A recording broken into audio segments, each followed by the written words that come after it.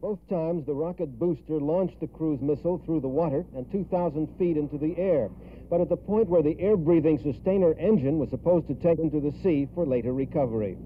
Defense Secretary Harold Brown watched the disappointing twin failures.